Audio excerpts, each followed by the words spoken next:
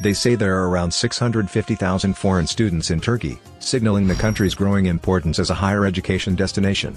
Today we will be guiding you about Turkey student visa requirements. Keep watching this video to the end.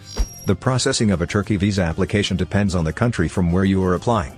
While in some countries you can get an answer within 3 days, in others the average may be about 15 working days.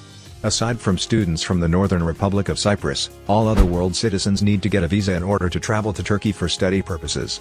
However, the following are exempt from the Turkish study visa requirement. International students that want to complete a bachelor's or master's degree in Turkey, who have previously completed their secondary and higher education in Turkey. Students whose parents are in Turkey with a work visa and residence permit and finally the blue card holders are exempt from the student visa requirement in Turkey. For Turkish student visa, you need the following documents, a completed Turkish student visa application form, a valid passport, biometric photographs in compliance with the Turkey visa photo requirements, proof of booked flight tickets, travel insurance for your entire stay in Turkey, letter of acceptance indicating that you have been accepted by an educational institution in Turkey. The letter must indicate the duration of your stay. Proof of paid fees for the educational program you are about to attend, this is optional previous diplomas, certificates, and transcripts. Proof of financial resources. The Turkish authorities want you to show that you have enough money to live in Turkey during your studies and pay the study fees.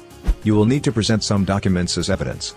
These could be your bank statements, proving you have the required amount. Letter of scholarship, if applicable. Letter of sponsorship, if your parents or another person will be sponsoring your stay and education in Turkey. Proof of accommodation. Depending on where you will be staying in Turkey, you will need to present a document as proof of accommodation. If you will stay at a dormitory, present a document that proves you have a reserved place. If you have been invited to stay over at friends or relatives in Turkey, then you need to present a letter of invitation from the host. If you have rented a place for yourself, then present a rent agreement signed by both, you and the landlord. We hope this video helps you achieve your goals of studying in Turkey. Check our other videos or fill our free assessment form and allow us to help you get to your dream country. Visit www.visavendor.com today. Thanks and do not forget to like, share and subscribe to our video.